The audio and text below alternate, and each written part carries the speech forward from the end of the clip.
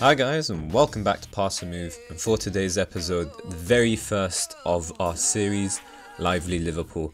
Uh, of course our Dortmund one ended somewhat earlier than expected but yeah it'll be interesting to take, take on Liverpool. There's a bunch of things to cover, we, I'd love to cover every single one of these tabs in truth but obviously there's no time for that. We want to show you the very first game of our season which is away to Manchester United so incredibly open, uh, incredibly important way to open the season and obviously we'll be hoping for all three points. Um, you know, what better way to win over the Liverpool faithful, isn't it? But um, yeah, I mean, let's we can quickly go through some things. I'm pretty sure everyone wants to see what type of transfers I've done, so we'll do that first. Um, you know what? I actually completely forgot that Naby Keita is coming in for us, or Keita. Let's just call him Naby. Is coming in, and is he coming in January? He is. No, he's coming next season. Okay, that's fine uh, as long as I know he's there now. Um, but yeah, in terms of transfer history, a couple of ins, uh, mainly in defence. We've got Vidal coming in on loan. Um, we also got Marc Bartra and Wallace from Dortmund and Lazio respectively. Uh, and in terms of outs, no real major ones. We've loaned out a couple of youngsters. Uh, Alexander Arnold was apparently not ready for first team football, uh, or for the Premier League rather, um, which is a bit unusual because you know Stoke did come in and get him and say that he's a first teamer, so maybe he is, and maybe my coach was wrong. But I was relying on my head of youth development, so if anyone would know, it'd be him and apparently my scouts telling me also that he's just a championship player. So hopefully next season he comes back ready for us because we do need that depth in right back. Um, in terms of defensive midfield, we don't necessarily need him there, but it's good to see that he's a versatile player, and if if needed, uh, we could have him there. The only bad thing, to be honest, is that he cuts inside from the right wing, which I don't want my fullbacks to be doing. Uh, the major move really is just Lovren, uh, gone to PSG for 23.5 million, so in terms of outs just 23.5 million. In terms of ins we spent 53 million. But bear in mind half of Bartra and Wallace's fees both of them are not being paid up front and instead they'll be paid over you know the installment periods. Uh, so I think I did it 48 months um, and uh, yeah so you could say like 15 million uh, given to Dortmund over the span of 48 months. That's three years, so it's really not that as much damage as it looks. But obviously, it is how much we spent as well, so you have to keep that in mind. Uh, Lazar Markovic as well on loan to Manchester City. I was trying to get rid of him, um, but yeah, no one necessarily in for him, so I just loaned him out. And City were ones who were interested, a bit unusual, but they were happy to pay a 75k uh, fee. Uh, to be honest, he's a decent player. Uh, it'd be nice to have him in our team, but uh, we're actually uh, got an abundance of attacking talent. So that's our main issue, trying to get the best out of our players. Uh, we've got way too many attackers in truth, and a lot of them are expecting first team football. I think maybe, um, yes, I mean, if we could have a look. So Chamberlain to about Sturridge there, we've got seven players expecting first team football and just four slots to put them in. In fact, some of them are actually expecting to be key players for the club. Uh, so it is a bit of a problem. Obviously, some players will complain, and the truth is, uh, quite a number of these players actually won't make it at the club because they will complain about first team football, and I will move them on. Uh, I feel like there should be a better balance to the squad. There's a lot of nice depth and stuff, but it's it's kind of um chaotic depth, I suppose I would say, I would call it, because a lot of these players aren't are expecting first team football when they aren't necessarily going to get it. So we'll talk more about our tactic and who we're going to be selecting or whatnot, but um, uh, we'll save that for later. Uh, in terms of the preseason, I know some of you care about that. To be honest, I'm not really a big fan. I don't read it into it too much, but it's good to see us get wins against Roma and AC Milan.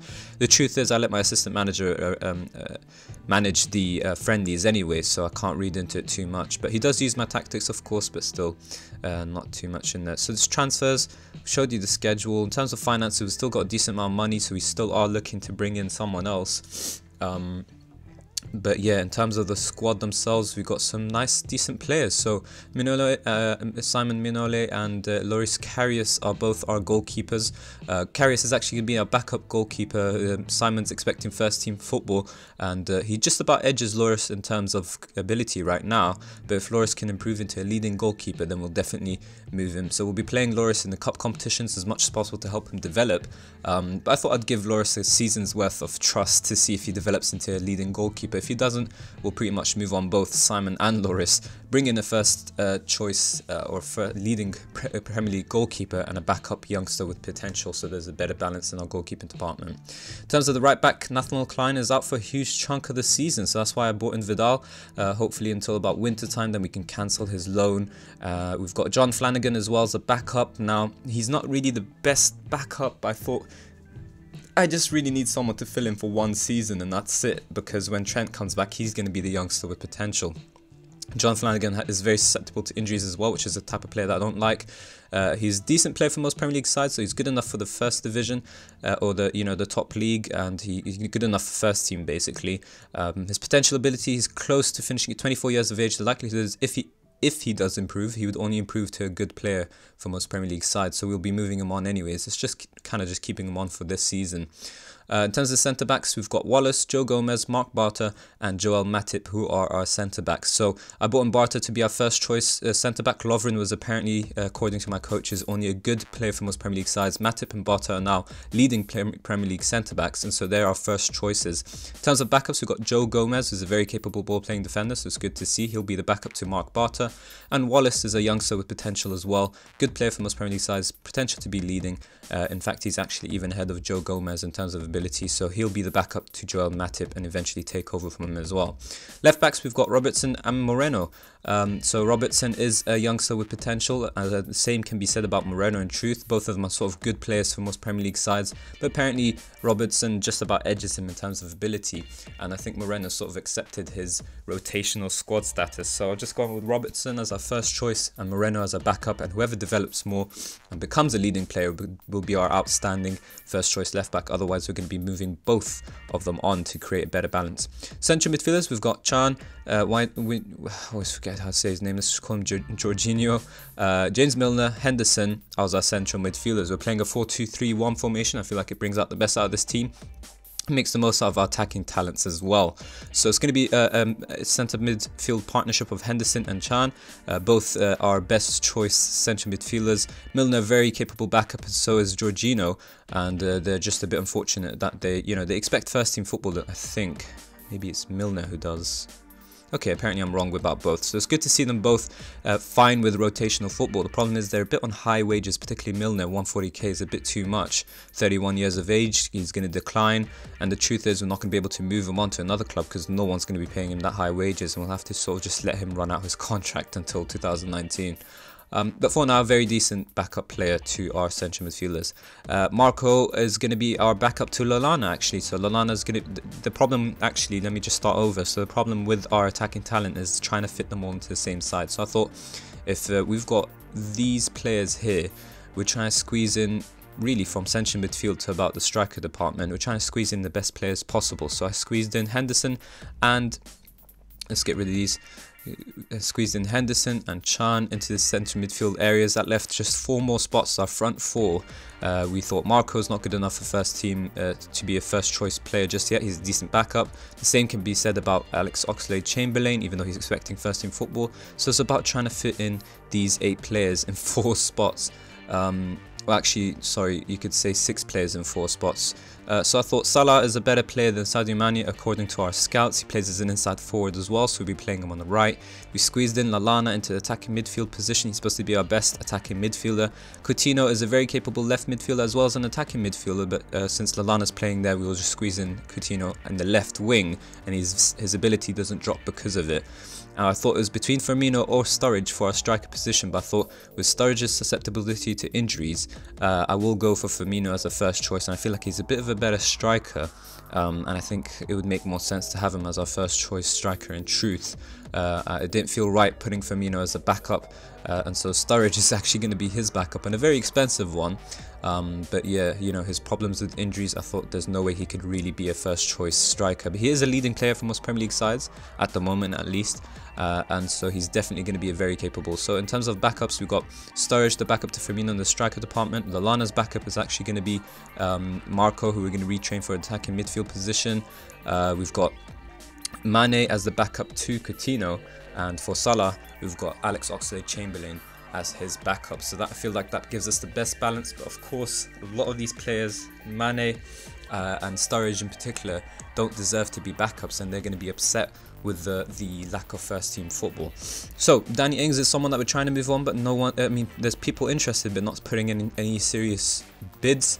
Um, Ragnar Klavan, we're trying to sell him off because we bought Wallace now. We don't need Klavan as a backup, and that's just what I'm talking about in terms of giving better balance. Klavan was a backup to player, for example, to Lovren or Joel Matip, but now we have a better backup in Wallace, a youngster who can actually improve. And Klavan, 31 years of age, just a good player for most Premier League sides, doesn't make sense to hold on to him. So we've talked a bit too much, but we can go into tactics and quickly kick off. So in terms of how we're playing, we talked about playing a 4-2-3-1 formation. We're going to be trying to play a sort of 4-2, uh, not 4-2-3, sorry, uh, pass and move type of football. Uh, and we've got some good players and good movement. So what we're looking for are players that dribble, um, players who uh, roam, and uh, players who have good vertical or horizontal, I think it is actually, uh, horizontal movement. Uh, so inside forwards, you know, they move they cut inside, so that's sort of horizontal movement as well. Uh, we've got someone who's willing to do the dirty business in the ball winning midfielder spots, such as Chan. To be honest, uh, Emre Chan and, and Henderson are both uh, very capable players of playing in any sort of role. Uh, possibly their best roles are the box to box midfielders, for example, and the advanced playmaker role that he likes here. Uh, but the truth is, we don't need that for our balance. We're trying to bring out the best out of Lallana. I know he's an advanced playmaker, but he's very capable as an attacking midfielder. And we also need overlapping partnerships. So we've got support Coutinho and Salah on support and Robertson and Vidal getting ahead of them. Uh, normally you could go with a fullback on attacks uh, role or a wingback on attack role and be very capable. I thought I thought both fullbacks though are very good as complete wingbacks on attack though and it encourages them to dribble more. If I could just show that. Yeah, so it encourages them to dribble more, uh, to run wide with the ball, they cross more often, they roam from their positions as well. So they're the only fullback position that actually allows them to roam. And so since we're trying to encourage that pass and move type of football, I thought that would make the most sense. Uh, Henderson is a very capable deep lying playmaker and Emre Can as well. Both players, to be honest, can play either role. Uh, and so we might have to switch them around to see who can play better. But this midfield triangle here, this is what works best uh, in terms of balance. Um, but yeah, I, I, just put Henderson on the right because he has a preference. Chan doesn't care either way, so I thought might as well play him on the left, and that's kind of it. Um, but yeah, like I mentioned, definitely can move either one of them. So we're going to be playing on control because that's our mentality. The, the board expect part, uh, well not pass and move, they expect possession but attacking football at the same time and so that's why I kind of went for pass and move football. Uh, so control, team shape is fluid, we've got intelligent players, very capable players and I thought maybe uh, we could take advantage of our good attacking talent and uh, go with the fluid team shape. In terms of team instructions, um, we've gone with a higher tempo to help with that, you know, moving the ball quickly. We're also playing fairly wide to try and use as much width as possible. Tighter marking, closing down more, offside trap and pushing slightly higher up just to try and win the ball back in, uh, as much you know, as much as possible. We've also gone with shorter passing, so we're not, you know, just kicking the ball about pointlessly. It might, um, you know, sort of contradict the higher tempo, but I'm hoping our players being close to each other and having good movement can help with the shorter passing and the higher tempo, so that way we're not losing the ball or, or putting in stupid passes. We want to be attacking through our flanks mainly, so I'm exploiting both the flanks and hoping to bring out the best out of Salah and Coutinho, with Lallana sort of just orchestrating everything and Firmino providing a very good um, role in the complete forward on support. So uh, he's actually best in the false nine role, and apparently Sturridge can play that if not in the poacher. Uh, but we don't need the poacher role in truth. Um, we're not looking for someone like that. We're looking for overlapping partnerships. So attacking midfielder on attack will go past the complete forward on support.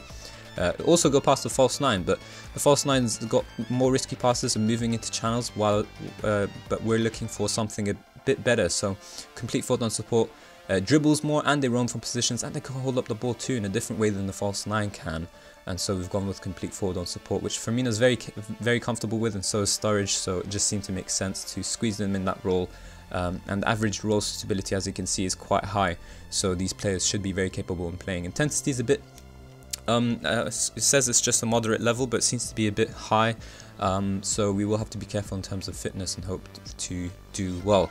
So this is actually our first choice uh, starting 11 like I mentioned uh, obviously Vidal It's just because Clyne's injured. So we do have to deal with a couple of injuries that we picked up. Lallana's been out for two to three months from the start of the season anyways. Coutinho though, he did pick up a bit of an injury and so did Firmino who's actually out for four to seven weeks. Uh, so we'll need to actually put in their backups and we do have some short numbers. It's not a good game to be short of numbers in, um, but we will have to deal with it of course. So Sturridge is supposed to be Firmino's backup. Um, Lallana's backup is actually supposed to be Marko and uh, where is he gone? He's injured as well. So we're dealing with a bunch of injuries at the start of the season. It's not the best time, um, but we'll just have to move on from it. I think we can just go back to the tactics board and see who can replace the players. So in terms of Lallana, there's Firmino is injured, Coutinho's out, Salah can play in attacking midfield apparently, Mane as well. But I think I will push up uh, uh, Jorginho here. Striker, maybe I can register Ings uh, and just play him for the one game before we sell him off. Salah's already playing. Mane maybe, but we're still looking for an a, inside, a left winger as well. So this is a problem. Mm. Yeah, so I think actually we will play Mane on the left. And in terms of our striker, we'll just register Danny Ings and play him for a single game before we maybe maybe this will draw up some uh, some interest in him, and that way you know, we do need the. I didn't expect to need Danny Ings, but apparently we do. So we'll just use him for today's game, see how he performs. Uh, complete forward on supports should be okay with him, I think. Yeah, he's alright. And uh, to be honest, he's actually a very capable player. He's just unlucky that we're missing, uh, that we have too many players in this position. He's also susceptible to injury, so that's why I decided to move him on. But yeah, good player, 25 years of age. It said he had a bit of potential, but the likelihood is he won't be able to improve anymore. And so I thought, might as well move him on. There's some play some teams interested, but they just don't have the money for him, I suppose. So yeah, Bartra on the right is a ball-playing defender, Matip on the left as a central defender, and that should give us a good balance. And let's hope that we'll see some good performances from our players. I think we can finally kick off. Too much talking for my liking. Anyways, doesn't get bigger than Manchester United. And uh, hopefully we can grab a win and get uh, all three points. Uh, it's a rivalry, a derby, and a huge one as well. And uh, an important game to try and win the opposite, uh, the the fans, sorry, the supporters on our side. So uh, Mata is going to be looking to exploit this space here, so we're going to quickly get Henderson to man mark him. We already talked about our starting 11, but quickly looking at um, Manchester United ones, it looks like they bought in uh, Stefan de Vrij. I think he's from Lazio before. Yeah, so he's a decent signing. So quite interesting because uh, Mourinho did already bring in Lindelof and uh, yeah, he has Eric Bailly as well, but he's gone for Stefan instead. Valencia and Blind, hopefully we can exploit Blind's lack of acceleration. Pogba Matic is as good as it gets in midfield. Uh, Mata, Martial, Mkhitaryan and Lukaku is probably their strongest starting uh, attacking uh, quartet, I suppose. And we're hoping that our attacking quartet can uh, compete. Salah and Mane can definitely do that, but Jorginho might be a bit uncomfortable in his um, more advanced role. And Ings, I just want to see if he can play as a shadow striker. That would actually help us a bit more. Uh, it's a bit better movement. Aggressions 11, long shots. I think he, we can actually squeeze him in as attacking as a shadow striker instead. So we'll quickly make that change too. The shadow strikers have better um, movement and they combine better with a complete forward on support. They also, you know, move into channels, vertical movement, of what we were talking about, and they dribble more than the attacking midfielder, so it suits our tactic a bit better. I would have loved to play Lallana in that role, but apparently he's not that good there. So in terms of the team talk, apparently we're underdogs. So I think we can just go for that team talk, try and inspire our players to put in a decent performance and grab our first win of the season, hopefully. So let's kick off. Uh, we need to make some changes don't want the table to show. It's not that competitive just yet. It's not the last day of the season. Um, quickly go on to TV, key highlights.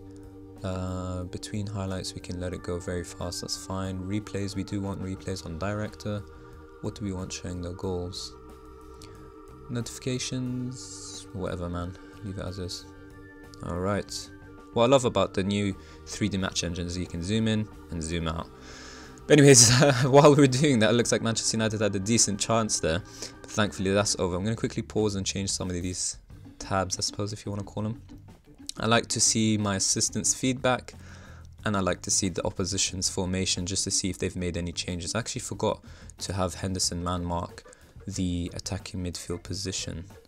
We don't want him marking a particular player, We just want them to mark the area in which we're weakest in. Um, you know, because Mata will definitely be trying to exploit this empty space here. We'll be doing the same to their formation, truth. So hopefully, uh, you know, Jorginho have a really important role to play today, and uh, we will need him to step up. Simon though on the ball. A couple of other players are already not fit, so it looks like my assistant manager didn't do that great of a job in pre-season. But uh, let's hope the players, uh, the boys, can still put in a good performance. Salah, the new signing, incredibly well in real life, so let's hope he has the same type of performance. Vidal getting really forward as a complete wing back. He's overlapped Salah really well, and putting a decent ball into the box. Salah's free and he can grab a goal already. And within two minutes, Danny Ings and Salah have impressed and scored. Um, well, is the one that scored, but what a good ball from Danny Ings. And, and uh, I mean, look at how Jorginho finds Vidal. Vidal's really forward. This is exactly what we want to see. Overlapping partnerships, really good ball into the box. Ings just heads it down really well. He draws all the defenders to him.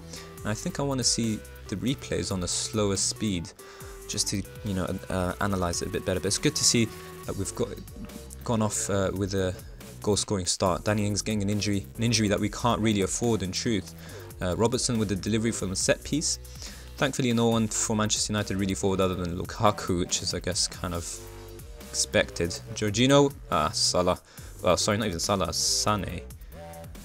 Mane, oh my god. That's Sadio Mane, and I just said Sane instead. Either way, Matip heads clear, but it's just Pogba to Matic, and it's Manchester United on the attack here. Good overlap from them, but we've covered it. Apparently not on both flanks. Martial can find Lukaku and he's free. Can he finish? Yes, he can, unfortunately for us. Uh, I'd love to actually have a sweeper keeper to, you know, make up for our higher line. But I don't think uh, Simon here is too comfortable in the sweeper keeper role. I'd love a sweeper keeper on attack. And he's lacking in some places like acceleration. Of course, that comes hand in hand with pace. He can be a decent one to be fair. Eccentricity, first touch is 11, passing is 11. Yeah, I think he'll be actually okay, but let's just keep him in his most comfortable role. I'll have a look later and see um, if we want to switch him to... I didn't even make any changes. What's the game talking about? If we want to switch him towards the sweeper keeper, but for this game, let's keep it as is. But yeah, good to see some attacking stuff from both sides. Uh, they did. I was talking about this flank here. Mane does really well to chase Valencia as he bombs forward, and unfortunately for us, I don't think Salah actually follows his man when Mkhitaryan makes a switch. Lukaku, Mata, and there you go. Salah's all the way forward. He shouldn't be man marking Martial in truth. It's actually supposed to be one of these guys, Vidal. For some reason, he's caught in midfield and that exposes and he doesn't even he sort of just tries and follows Matic instead of maybe coming back and covering his centre backs for Lukaku. And Martial can find Lukaku really easily a bit too easy for my liking. If you look at the end of the here we've already got um, six Manchester United mid uh, players in the box. And you can already see Pogba outside on the edge of the box and Blind really high up as well. So that's it's as counter-attacking as it gets in truth and uh, despite us playing on control which is supposed to help negate the counter-attacking of the opposition team uh, we still get caught on it so my players are going to have to be a bit more alive there's an immediate highlight after the goal so hopefully it's in our favour and uh, Chan has an opportunity here Mane can he find his partner Instead, he loses out to Matic, and it's Manchester United getting forward again. Can we stop their counter? We do this time through Chan. Ings plays the smart ball to Henderson. Deep lying playmaker, what can he do? Looking for a pass and he puts a really bad one in for Vidal. And uh, that is poor playmaking from Henderson. But Matip uh, cleans up and it's Chan on the ball here again. I feel like, I'm uh, pretty sure it's Chan. Is it Chan or is it Khan? I heard commentators say Chan, I think. Once more, Martial breaking the line. Vidal getting caught out again. And this time, Simon does the save, and that's exactly why we want the sweeper keeper to come and push out. He does he pushes up a bit more than a standing goalkeeper, I think, but we're really getting exposed. I thought uh, having an offside trap would help with the the high line that we're playing.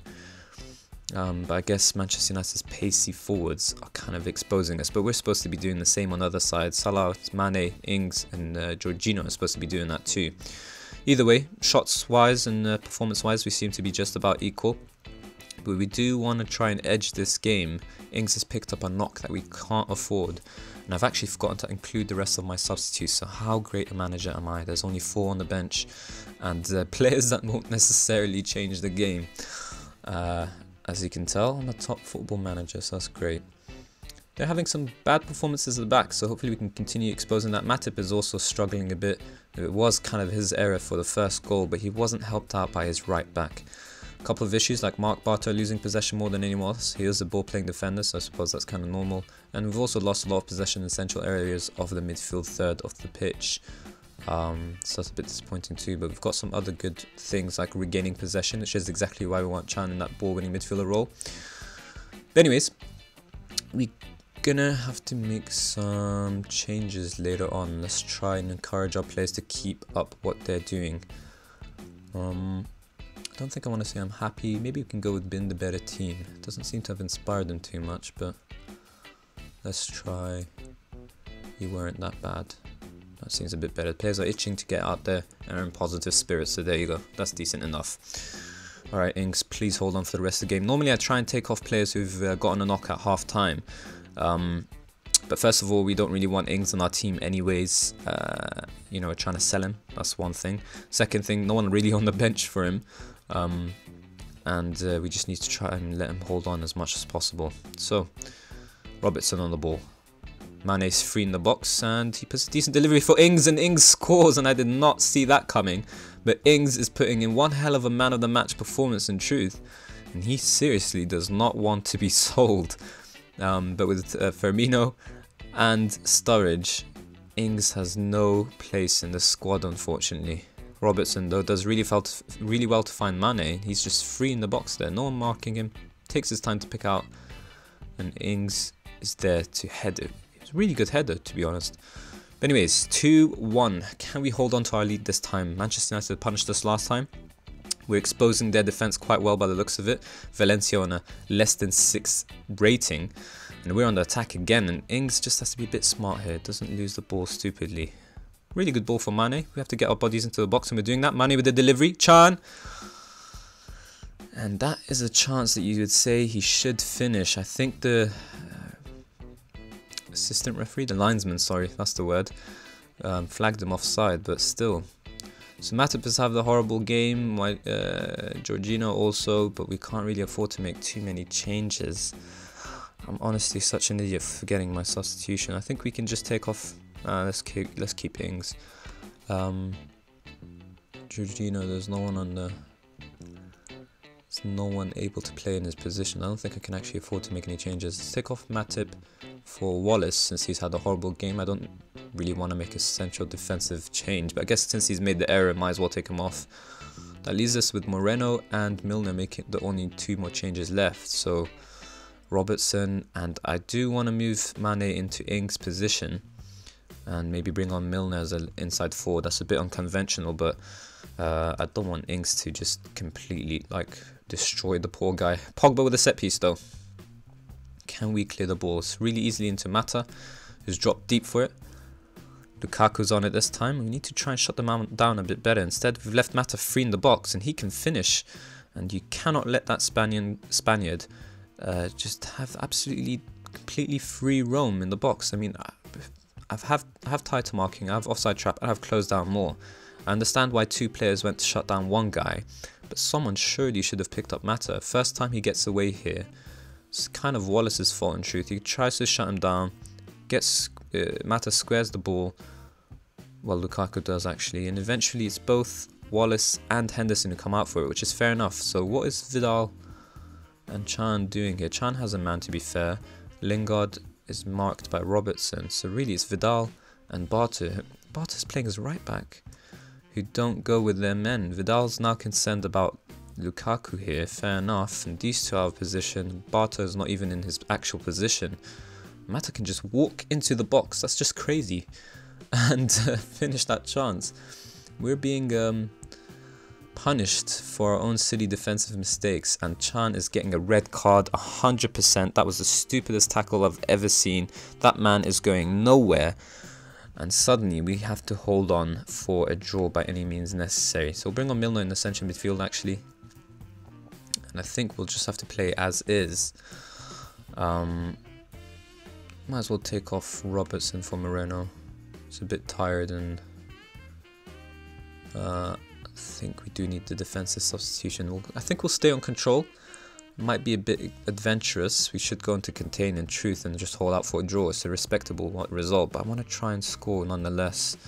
Having said that, Manchester United start the highlight, and I'm not looking. I don't feel confident at all. Pogba with the delivery. Kate up with the initial threat, Martial, Lukaku, and Simon deals with that. And uh, fair enough, it was a clear-cut chance, but thankfully that was a poor header. I think I do want to go into contain now. They've sort of um, punished us. Okay, so take a breather, play even safer. That's just the standard contain things.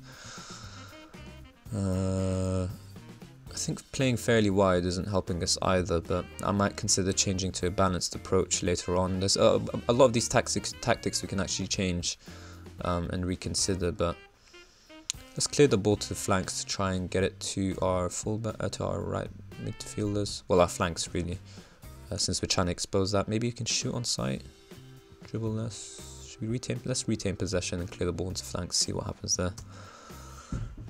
All right, let's hope our players do not. Okay, great. So I didn't even finish my sentence and Manchester United are through in the box, so... Oh well. I think a draw is a respectable result at this point. Apparently we were underdogs anyways, so...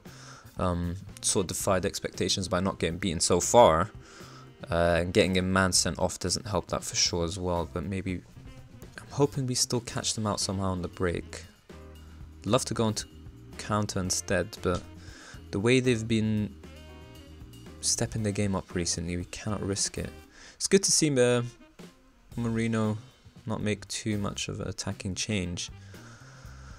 Though loses out to Darmian and Manchester United are going to try and expose this again. Bartra just comes across stupidly. Lukaku's free and he hasn't finished it. That's a bit weird. That highlight was really strange. It looked like he finished it, but he didn't. And still one more. Manchester United can still kill the game for us and they Whoa. Okay. I was... They should show a replay of that because that was an incredible save, whether that was the goalkeeper or the defenders. We are surviving just barely. I think we will get the draw now unless we manage to score in the literally last 30 seconds of the game. And uh, who is that actually? Milner. Milner does a smart thing to find Bartra. Just play it safe, but they're playing really risky. Vidal finally to Alberto. Milner loses out to Lingard and uh, we were being safe but instead we were being stupid after a little bit there and Manchester United can punish us. Shut them down quickly. Darmian's through in the box. Lingard Herrera Mane we can finally get it away and it's over and a draw is very very decent. So that's alright I think definitely well done. And uh, Can is gonna have hell to pay for since getting it sent off. Oh yeah, there is uh, some couple of updates. I actually forgot to mention the season expectations. We'll have a look at what the board expect from us. Uh, in terms of the competitions, uh, what we're aiming for. Obviously, why we took over Liverpool is to try and turn them into Premier League champions. That's an, uh, something that's obvious. Uh, but we do want to try and overtake Manchester United in terms of league titles. We obviously do want to win the first Premier League title since it's been, you know, revamped. Uh, everyone mocks Liverpool for that, so it's just knocking Manchester United off their perch once more. Um, but first things first, getting into a Champions League spot would be good for this season. Uh, if we challenge for title, which I think we have a decent enough squad to do, uh, it's all a question of being consistent enough um, then you know that would be really good too. But the the main long term aim is to just dominate the Premier League like Liverpool used to do before. Uh, so yeah, competition expectations. Board just expect Champions League football, which is why it's the target that I've set. Uh, Champions League is just to reach the quarter final. Uh, a bit of a high expectation in truth, but yeah, we're still in the best place playoff. I won't be showing you any of the cup competitions until we've met expectations. The League Cup's not important, so I won't show you until we reach the final if we do. FA Cup's the same thing until we reach the finals, no point. Champions League, until we reach the quarter final, I won't be showing you any Champions League games. Unless there's some huge game in the group stage that really needs to be shown. Um, but yeah, I'm not a fan of showing cup competitions. I like to actually show you um, a, game per month. So we showed you the month of October and uh, month of August, sorry's game. So we won't be back until September. So these are the fixtures to look out for. There's Burnley, Swansea, Carabao Cup uh, or League Cup, uh, West Ham and Leicester. And uh, if you ask me, it depends on how these teams are performing by the time we reach them. Um, but we'll probably sounds about right to come back for the West Ham home game or Leicester away would be quite interesting too. Uh, we do have Arsenal and Tottenham as well, so our first three opening fixtures are very difficult. If we can navigate our way through that, then we can seriously start to pick up points later. Uh, we go on for quite a streak here from Burnley to about Chris uh, to Huddersfield. We should be winning just about every game there. Uh, and obviously when we face Chelsea again, then we should be alright. But anyways, um, I think that's kind of it. Uh, if we can have a quick look at their history, maybe I didn't really show Liverpool's history, uh, but very inconsistent, up and down sort of things. And as you can see, not a single win. They've been in second three times in the past, was that like 20 years? Uh, so we just want to finally break the barrier, finally push through. We've got a ton of money, finances are really good, 80 million at the moment, projections are really good too. Uh, a bit of debt, of course, but nothing too heavy, nothing that you wouldn't see in any other Premier League club, really. And uh, so we do have the finances and the power to actually turn this team into, you know, a Premier League winning one. So hopefully we can do that.